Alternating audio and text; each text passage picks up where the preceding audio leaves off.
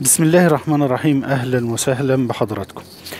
ال- الوقت المناسب لانك تنقل فيه آه، شتلات الخيار. الوقت المناسب لأن انت تنقل فيه الشتلات بتاعة الخيار. شوف يا سيدي آه، بقدر الإمكان لو الشتلة عندك فيها تناسق ما بين المجموع الخضري والجذري فحاول تعجل بإنك تنقل ال- ال- الشتلات بتاعة الخيار. تمام؟ يعني دي صينية 209 عين تمام؟ ودي الصينية اللي هي 34 عين. إمتى ننقل؟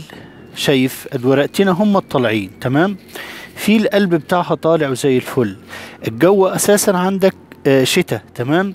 يعني مفيش مشاكل كتير في إنك تنقل في البيوت المحمية.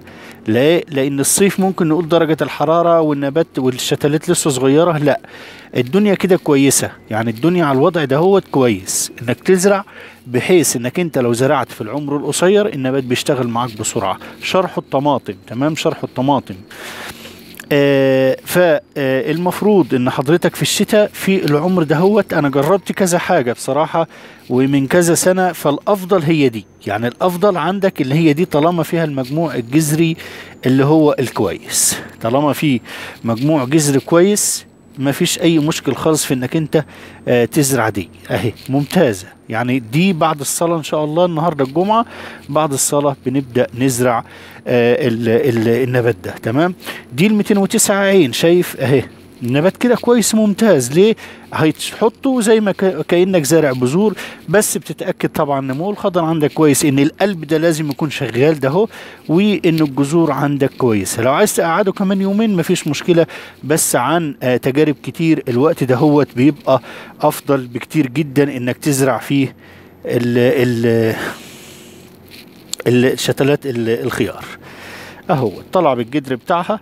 على فكرة دي تقريبا النهاردة آه لها 13 يوم. 13 يوم بس آه للأمانة طبعا إحنا عندنا تدفئة دفايات هنا كهيا فديت بقالها آه آه 13 يوم بالظبط يعني. أهيت.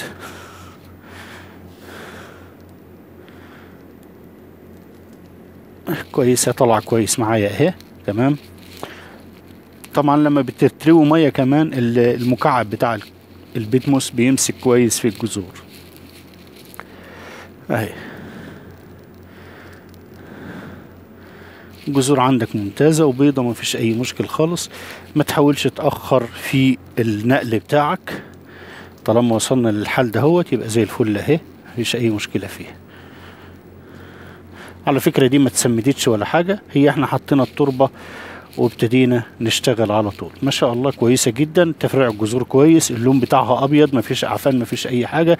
توكل على الله في العمر دهوت ويبدأ ازرع بدل ما تزرع في العمر الكبير بياخد فترة كبيرة على الجذور عندك ما تبدأ تشتغل. تمام؟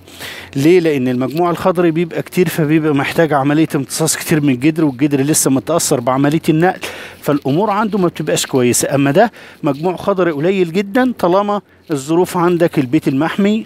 بس طبعا في ال في ال في الحقل المكشوف ما ينفعش. طالما عندك في البيت المحمي وما فيش تيار هواء ولا حاجة هيضر الشتلات ديت.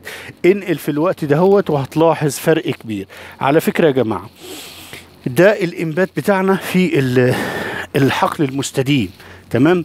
وعلى فكرة دي إحنا زارعينها دي زارعينها لو ت- 13 يوم ديت بعدها بيومين تقريبا ديت 11 يوم. دي تقريبا 11 يوم. تقريبا نفس القصة وطبعا الإنبات هو شايفه تقريبا 100% نفس اللي في الصواني.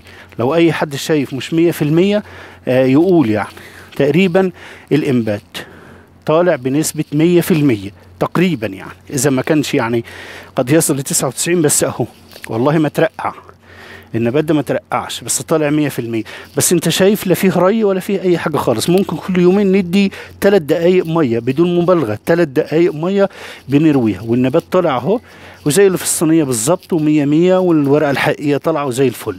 ما أعرفش بتجيلي صور تخليني بخرج عن شعوري وساعات ما بردش بصراحة من الزعل. فاهمني؟ يعني واحد يجيب لك صورة يعني هو تقريبا بيرمي الزرع كده وبروح ينام. يا جماعة الزرع لازم توليه كويس ولازم تكون واقف على دماغه. هتزرع وتروح تنام مش هتاخد حاجة. هتزرع وتتكلم في التليفون وتحب في التليفون برضه مش هينفع عندك زرع. لازم آه، تكون أمين. واعرف دايما إن الزرع ده بسبح ربنا فاتقي ربنا فيه يعني. ما تزرع ما تزرعش كده وتسيب. أهو. الإنبات. ما شاء الله ما فيش أي حاجة غايبة خالص أهو. شكرا لحضراتكم وأتمنى تكونوا استفدتم من المعلومة.